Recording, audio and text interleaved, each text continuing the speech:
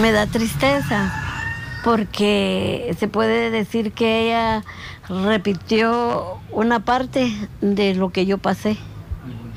Económicamente mal, eh, los niños no han podido estudiar.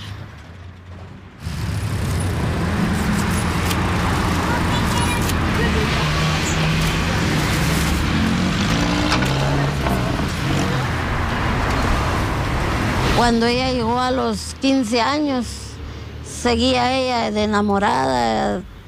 Nunca me dijo que ella tenía un novio. Se miraba con el muchacho en escondidas.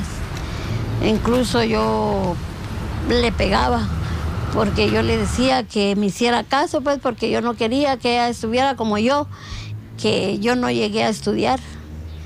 Yo no, yo no sé leer y escribir.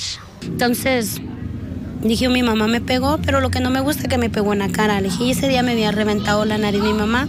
Entonces vine yo y, me dijo él, si quieres te vas conmigo. Me eh, yo vivo en talado, mira esto, ¿verdad? Las cositas que un hombre le ofrece a uno, ¿verdad? Y uno a veces, sus tonteras de uno de joven, ¿verdad? Vine y sí, dijo ella y se fue, ¿verdad? Pues al principio de mi vida con él no me fue mal, ¿verdad? Lo único que yo no sabía de él, ¿verdad? Que él tomaba. Al año de eso, yo quedé embarazada de mi primer hijo. Y ahí fue donde empezamos a ver, ¿verdad? Cambios en él. Que ya él me llegaba a bolo, días no llegaba, pasaba hasta un mes, dos meses y él no llegaba. Prácticamente mi embarazo lo pasé sola y me vi en la necesidad de buscar a mis papás.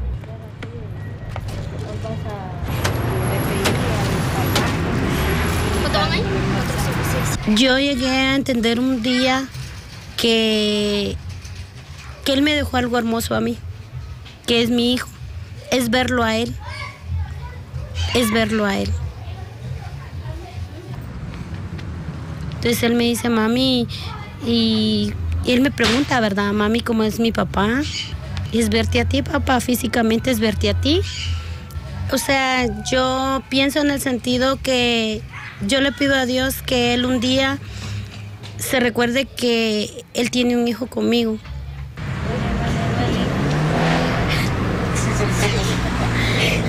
me está molestando, Pero dice que ahora no me van a dar edad, sino me van a dar unas cosas iguales que el DPI. Y el que había ahí va a uno en la sombra, pues, pero estar ahí uno parado, mucha perdedera de tiempo. Y una muchacha los maltrata porque trabaja en... Y ahí descubrieron que María tenía cáncer. Y eso fue lo que más eh, me puso triste, porque yo pensé que María se iba a morir y dejaba dos niños.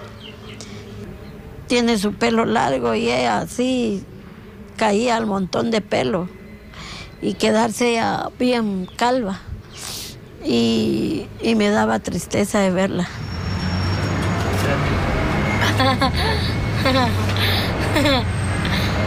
pues ese es mi peinado. Es tu peinado.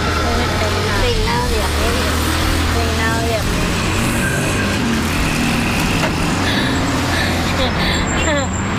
Caliente el agua.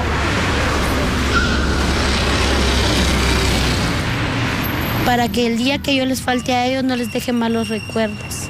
No me miren que digan, ay, mi mamá pasaba en una cama, o no, no salíamos, o no esto, no. Yo quiero que ellos me recuerden que yo trabajaba, que yo, yo luchaba para salir adelante. No quiero que me recuerden como algo que no, no les dio utilidad. Pues cuando pienso en ella me siento mal. Porque cuando pienso en ella siento que algo le va a pasar o, puede estar pasando algo mal. Cuando entra con el doctor siento que le va a decir algo que no es agrado para ella. Que piensa, pienso que le va a decir que le quedan pocos días de vida o meses.